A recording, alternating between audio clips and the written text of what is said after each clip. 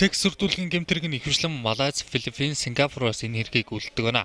2014 оны 5 сард Интерполийн ээлж турлаар энэхүү гэмтэргийг зохион байгуулалтын гэмтэрэг гэдэгт албан ёсоор тооцсон байдаг юм а. Манай улсын хувьд анхны тохиолдол нь 2013 оны 4 сард бүртгэгдсэн юм байна. Одоогоор 40 гаруй хохирогч бүртгүүлсэн байдаг. Facebook-ийг ихэвчлэн ашиглаж Skype онлайнаар сексиж эргүүлээ тухайн бичлэгийг нь ашиглан хохирогчоос 500-аас 6000 ам доллар нэгэмжилдэг. Уг гэмтэрэг нь цаанаа 4-5 хүний зохион байгуулалттай байдаг нь манай телевизээс хийсэн туршилт бол бодит аюул таны хажууд байдаг гэдгийг харуулах зорилготой юм а. За энэ туршилтын дээр э, одоо бидэрт илрээд байгаа гэмтдгээд талаарх мэдээллийг одоо Монголоо авах мэдээлэл болон хуурамч ашиглаж байгаа Facebook хаягийг бид нар мэдсэн даруйда өөрөө улсын Интерполын цэгтүүд очоод хандсан байгаа.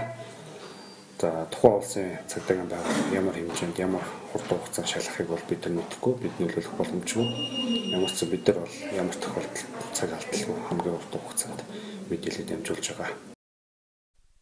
Хэрвээ гэмт хэрэгтэн бичлэг тараавал тухайн улсын хуулиар ялан хүндэрдэг альж төрлийн захин гэмт хэргийн 60-аас 70% нь урьдчилан сэргийлэх ажил байдаг гэдгийг онцолж байсан.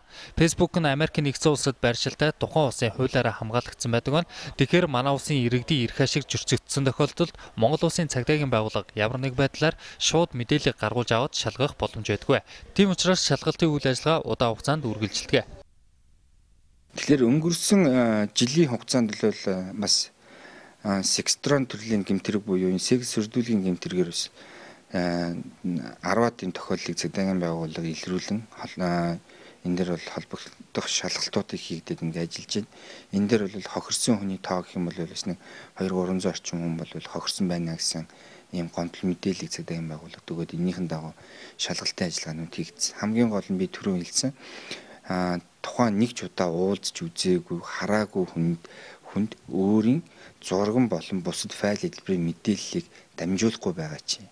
Энэ дээр тухайн нөгөө интернетийн нөгөө талд нь сууж байгаа нөхөр хин гэдгийг мэдээгүй үзээгүй ижиж өөрийн мэдээлэлээ дамжуулна гэдэг нь энэ өөрөө иргэн үний хувьд л өөрөө эрсдэлтэй алхам хийж байгаа ийм зүйл байгаа юм л та. Тэгэхээр ийм эрсдэлтэй алхам битгий хийгээд байгаа чи гэдгийг л сануулмаар байгаа. Ер нь бол Энэхүү гэмтэргийн хохирогчд нь хүйсийн хувьд тэнцүү байдаг. Манай улсын хувьд хохирогчд нь их хвшлийн ирчүүд байдаг гэж байна.